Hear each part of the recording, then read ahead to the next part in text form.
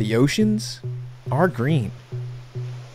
Not just blue, but the most beautiful emerald green you've ever seen. Most of us are used to divers on social media in the clearest blue water one can imagine. We're transfixed by tropical oases teeming with life. In reality, life blooms in the color green. Large swathes of the ocean run green with life. Teeny tiny organisms called phytoplankton form the basis for entire marine ecosystems. These little green goblins combine sunlight with nutrients, CO2, and water to create life. You remember that equation we all learned in the fifth grade? 6 CO2 plus 6 H2O yields C6H12O6 plus 6 O2. That's photosynthesis.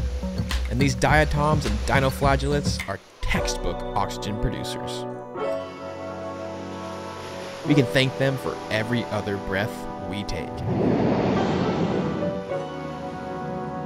Not only do they provide half the air we breathe, they provide energy for entire marine food webs. They get this green color from chlorophyll levels peering through their clear skin. Where giant patches of ocean run green with chlorophyll, you'll find organisms that eat those chlorophyll packed capsules.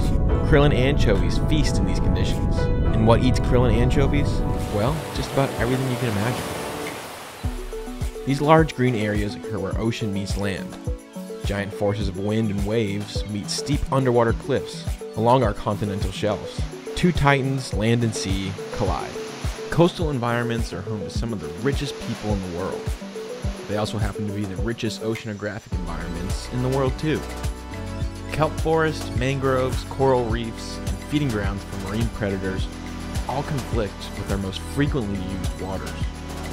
This is where problems occur, where whales get hit by boats and entangled in fishing gear, where overfishing takes place right outside our windows, and where pollution runs rampant and our impact to the oceans is the greatest.